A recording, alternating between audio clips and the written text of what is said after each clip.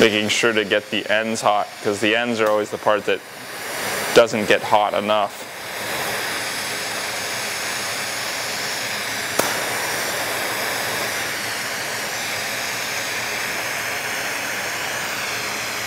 And then just a little bit of stretching. Heat it a little bit more.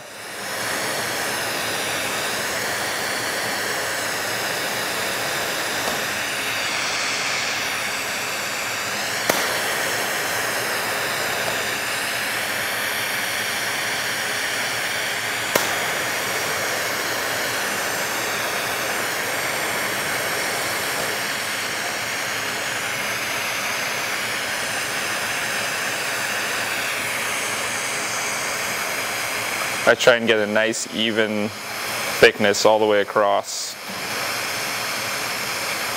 It makes the uh, wigwags come out straighter in the end and cleaner.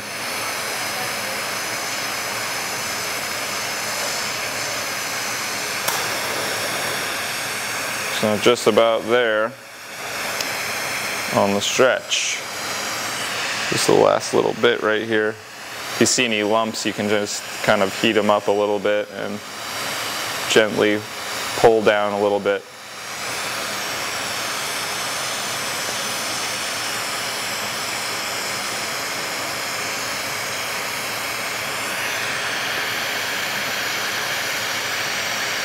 There we go, stretched out. So I'm going to make a smaller flame here. I like to use the uh, center oxygen on my GTT to tighten the flame up a whole bunch. Make a really nice small flame. A small hot flame.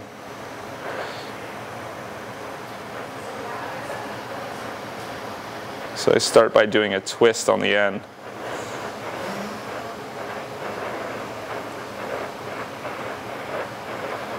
This is a clockwise twist.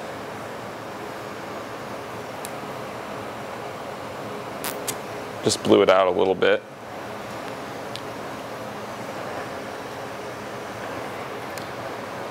Okay, I'm going to go in close on your torch, so For- don't whip it too far away from the torch, okay? Oh yeah, I'm gonna be right here, so.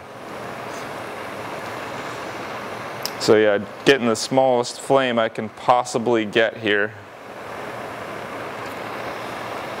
And I'm just gonna kind of start right after the twist I made and work my way down.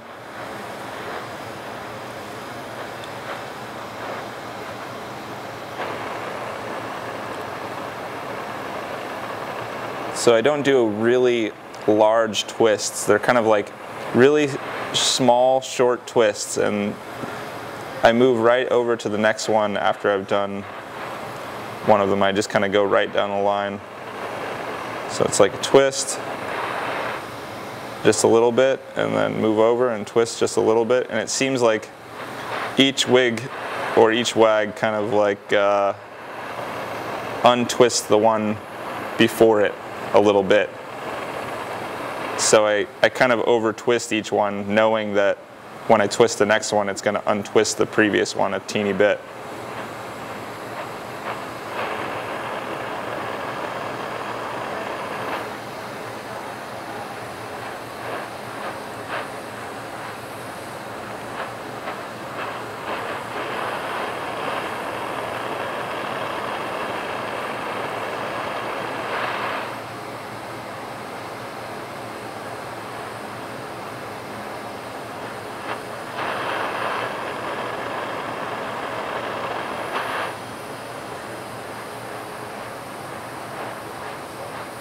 So I'm just continuing down the line. I found that if you take your time making sure each one is straight before you move on, it's it's easier to just keep them keep them nice. You don't want to stall too long in between them though. You kind of just keep going, you just keep trucking.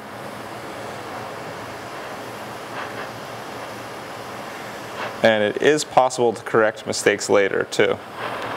If it's a little bit over twisted or under twisted in one spot, you can actually go back and fix that. just by heating the area and twisting it back.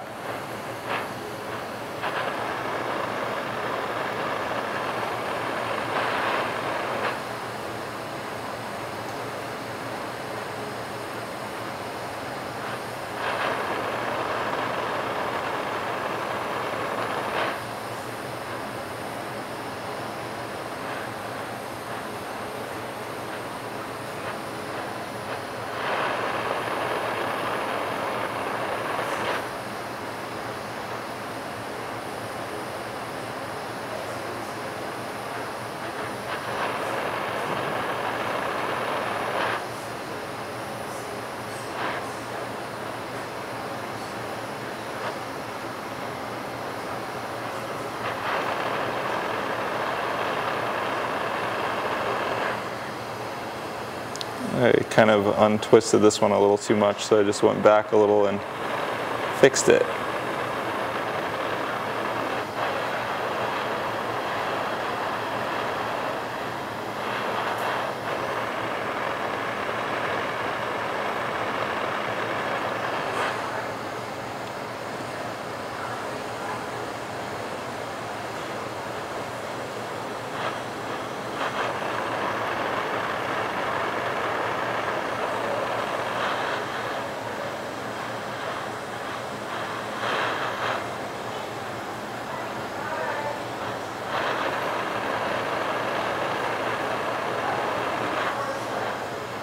So I'm coming down to the end here.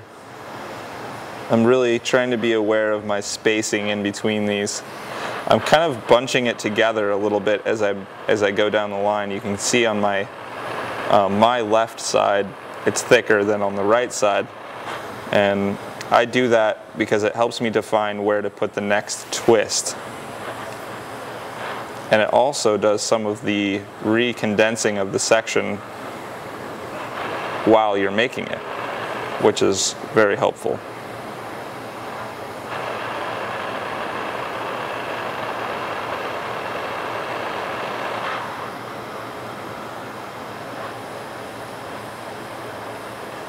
So as I come down to the bottom here, kind of look and see how much tubing I have left to twist, to wigwag. I've got just enough to do two more twists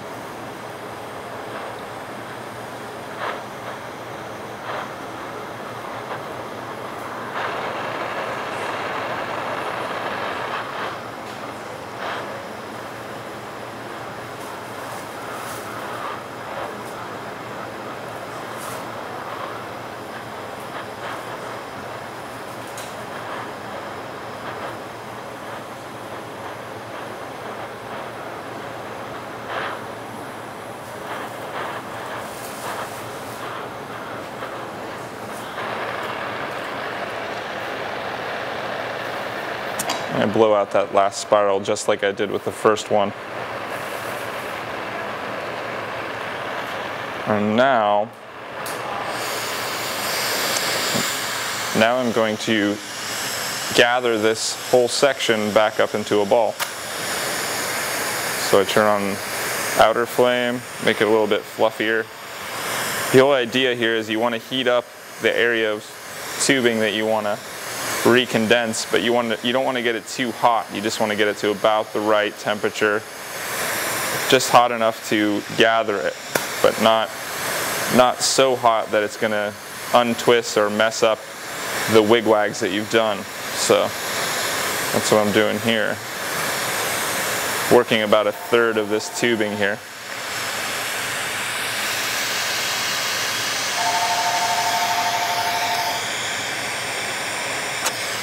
Puffed it out.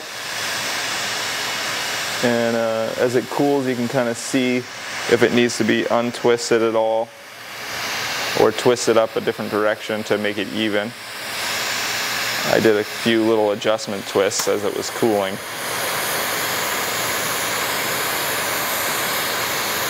And I move on to the next third. I think I do it in about threes and thirds on these smaller wigwag sections.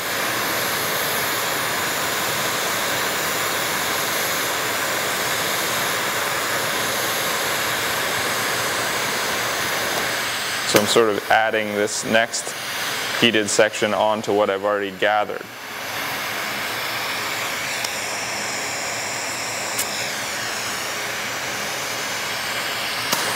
All right, one more section and I'll have it partially condensed into a ball. I'm actually going to blow the whole section out into a round, as round as I can make it, a round ball.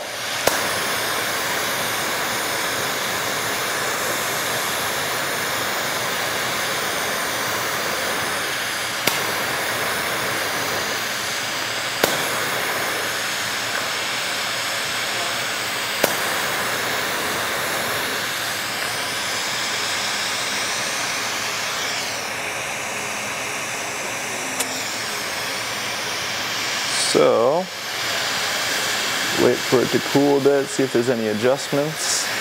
It looks pretty good. So now I'm going to twist this entire section. So I've got my wigwags made. I just heat up the whole thing and give them a little bit of a twist. Not much, a little bit goes a long way on this. If you over twist, you'll lose all of your uh, wigwags. You, you won't even see them anymore.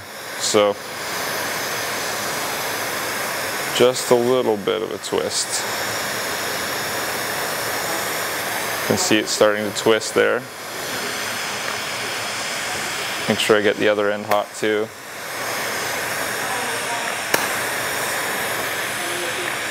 there it is. There's the twist. Give it a nice puff.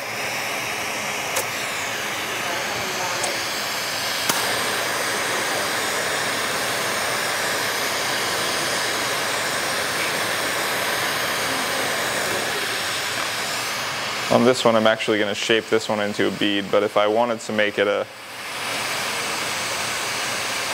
a ball, I would just take this punty off over here and uh, do a nice clean termination on the end and blow it out into a bubble.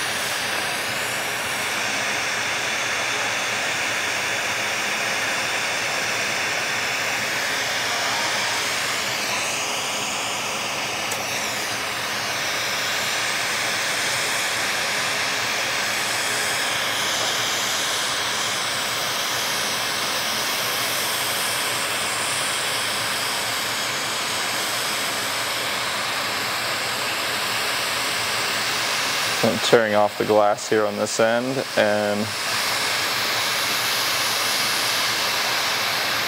I'm actually going to open a hole up on this side over here. We got a piece of six mil.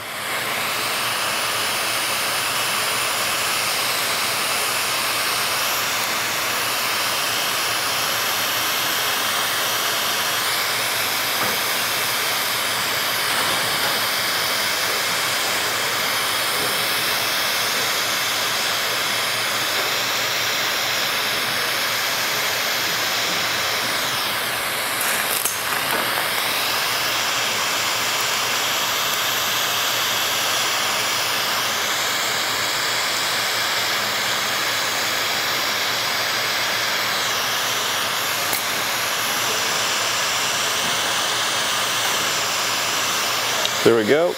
Holes open. Open this up.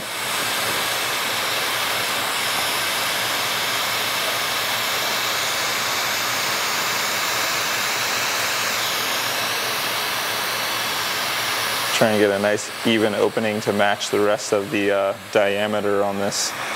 So I'm going to use my marver pad. Just like that. Make sure you wax your uh, tweezer jacks if you have a set. Or if you have a regular jacks, those work really well also. And just a little marb on the end there, even it out. Looks pretty good. Look for stress lines in the glass. We don't see anything. Looks clean. Now I will connect a cold weld. Cold weld is where one is hot and one is just a little bit warm so you can pop it off later.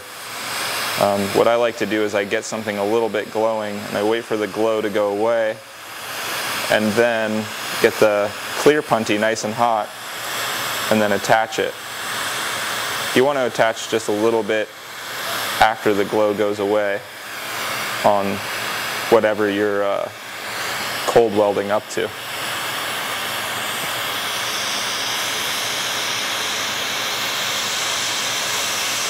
So I'm just going to open this end over here just like this other side to match.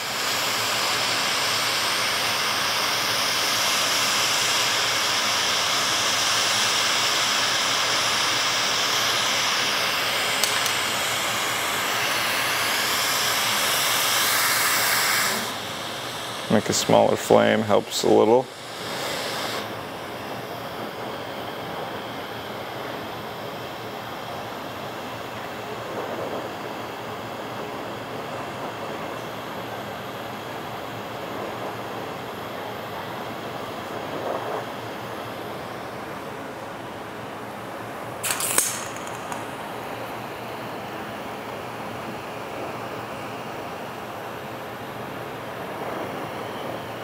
There we go.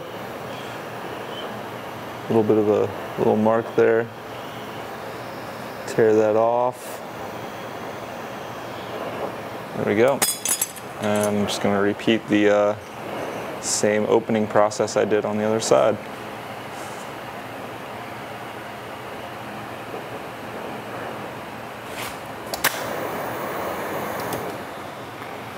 Use this edge of my marver plate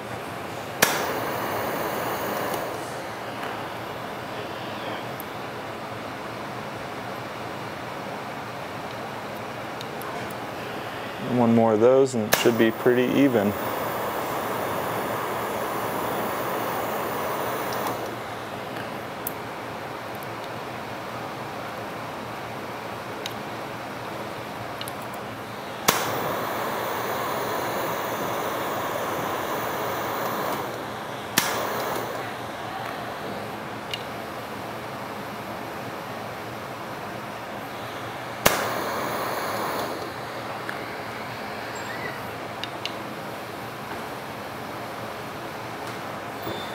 Trying to make sure that diameter matches all the way down.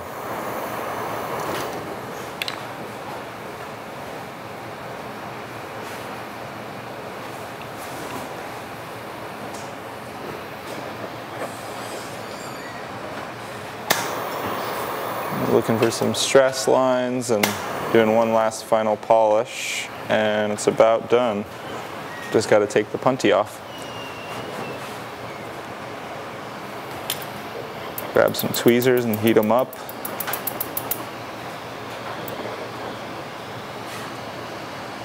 And then grab the bead, gently heat it up where you had your punty. And I'm actually going to use the graphite to cool it right where it's connected. And then very gently wiggle it off. And there it is. Do another uh, opening. Polish it, and there it is. All done. Nice wigwag bead.